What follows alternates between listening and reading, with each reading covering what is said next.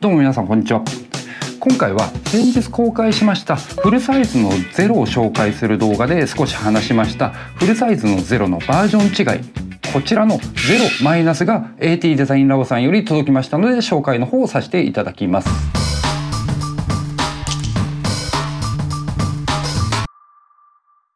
今回こちらの0マイナスを紹介させていただくにあたって今までリリースされている AT デザインラボさんの0シリーズやこちらのフルサイズの0の詳しい解説は以前公開している動画がございますので概要欄の方に URL 貼っておきますので詳しく知りたい方は是非チェックしてみてください。そして今回のこちらの0マイナス通常版のフルサイズの0に対してどういったバージョン違いなのかというと先日リリースされましたフルサイズの0の単純に軽量版となっております。で詳しい使用感の方は順を追ってね解説させていただこうと思うんですけども個人的にはね通常版よりこちらの0マイナスの方が非常に気に入っておりますので是非動画の最後までご視聴いただき0マイナスチェックしてみてください。そして今回の動画の流れとなりますがまずはディテールチェックの方していこうと思います。形状や表面処理などの見た目の印象そしてフルサイズの0と形状的な比較。そしていつもやっているスペックの解説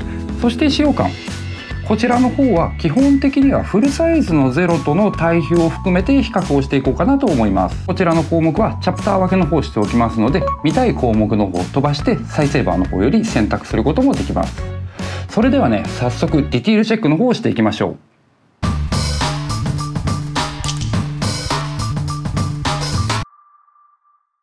はいそれではディティールチェックの方していきましょう。こ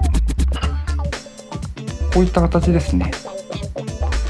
このリムの先端の部分に丸い肉厚のウェイトが乗っかってまして中心がこういったハブの形。そしてラウンドタイプのヨーヨーでペアリング周りレスポンス周りはシュムーブリングの方が搭載されていま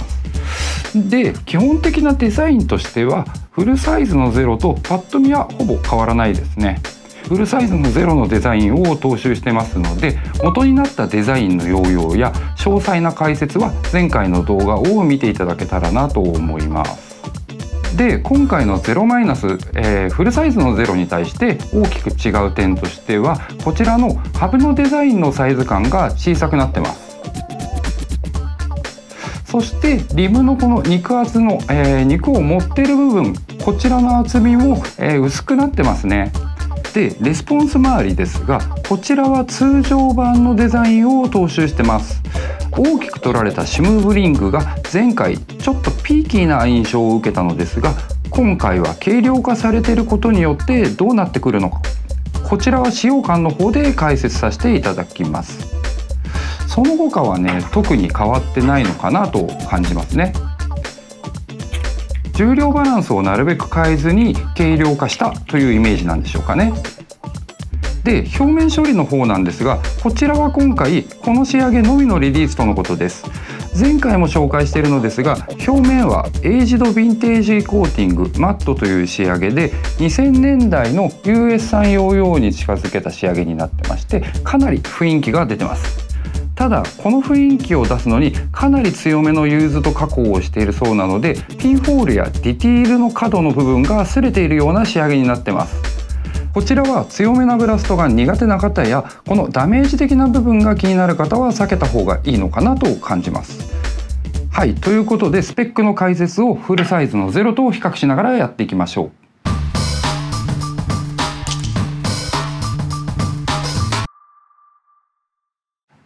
それでは0マイナスのスペックですが直径 57.0mm 幅 39.5mm 重量 58.5g C サイズベアリング搭載で対応パッドが CLYW 互換サイズとなっております。また標準搭載のアクセルが M412mm そしてフルサイズのスペックはこちらになっております。ゼロマイナスの変更点の方は重量とアクセルの長さが変わっておりますアクセルの長さは例えば10ミリに変更してより快適に回転力を出したり16ミリに変更して少し重量感を出すこともできますねブランドとしては 16mm のアクセルを搭載している通常版に対して0マイナスの方は 12mm にしているあたりにより軽快にしつつ回転力も少し伸ばしたいという意図が感じられますね。ということでねスペック形状をやりましたので使用感の解説の方に行ってみましょう。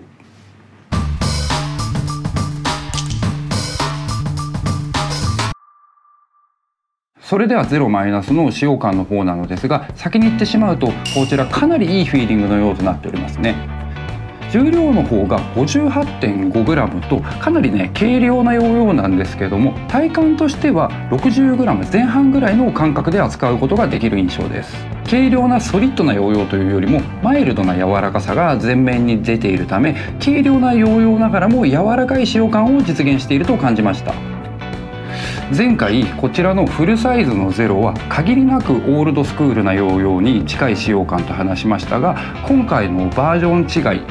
ゼロマイナスの方は今までのゼロシリーズや AT デザインラボさんの開発コンセプトの根本的な部分オールドスクールなヨーヨーと現代的なヨーヨーのハイブリッドな使用感となってまして個人的にはねこちらの方が今回期待していた通りの使用感になっていると感じます。またディティールチェックの時にも話していたこちらの大きく取られたシュムーブリングですがこちらはね重量がないためか傾き自体も通常版よりピーキーさが減っているのかなと感じました。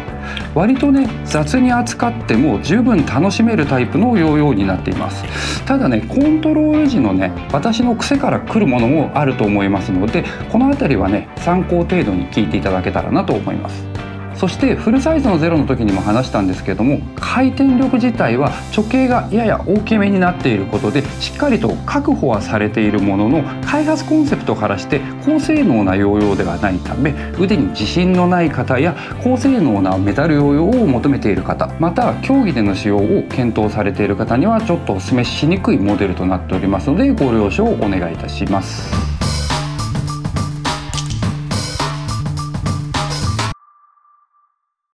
れでは最後までご視聴の方いただきありがとうございました。アンダーサイズそしてミドルサイズのゼロに続きフルサイズのゼロが登場。そして今回さらにこのフルサイズの軽量版ゼロマイナスの紹介をさせていただきました。新たにオールドスクールなヨーヨーと現代のヨーヨーのハイブリッドなヨーヨーが欲しい方。そしてすでにシリーズ全般持ってる方または AT デザインラボさんの今までのハイブリッドな使用感が欲しい方。そしてこちらの通常版のゼロとの比較をしてみたい方是非手に取ってみてください。そしてこちらのゼロマイナスと通常版フルサイズのゼロの方の販売サイトの方も概要欄の方に貼らせていただきます。それでは最後までご視聴の方ありがとうございました。